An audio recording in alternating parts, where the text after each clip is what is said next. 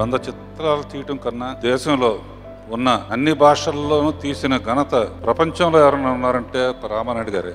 సత్యరిశ్చంద్రుడు మనం చదువుకున్నాం.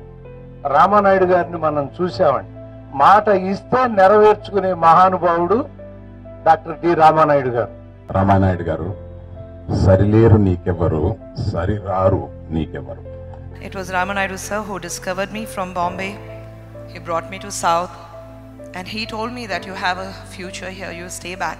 తాతగారు నాకు ఐ థింక్ సినిమాల కన్నా he taught us all how to love how to respect how to be loyal and how to work hard I always remember him for that మా తాత మమ్మల్ని ఎలా పెంచారంటే చిన్నప్పుడు తాత దేవుడు ఎలా ఉంటాడు తాత అంటే శ్రీకృష్ణ తులాభారం సినిమా చూపించి ఎన్టీ రామారావు గారిలా ఉంటారా అనేవాడు. నేను నాస్తికుడు నేను ఎప్పుడు దేవుడిని నమ్మలేదు.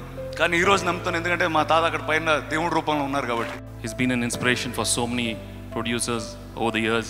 His work, mantra was just plain and simple hard work and discipline. That's what he taught us. very disciplined man, very hardworking man.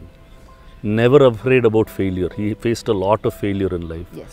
He will come back, stand up, and work hard. ఒక తెలుగే కాదు తెలుగు తమిళ్ మలయాళం కన్నడ పంజాబీ ఒరియా గుజరాతీ భోజ్పూరి భారతదేశంలో ఉన్న అన్ని భాషల్లో చిత్రాలు తీసిన ఏకైక నిర్మాత doctor D Ramanaidu movie mogul